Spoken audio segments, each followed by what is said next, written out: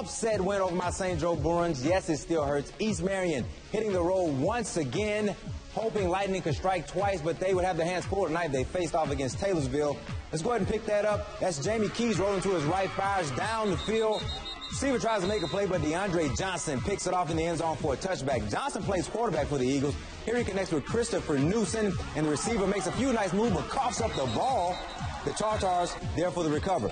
But when East Marion gets another crack at it, they don't mess it up. Johnson back to pass, looking deep down the field. Good coverage downfield, so he decides to scramble to his left, fires downfield to a wide open Demetrius Macklin.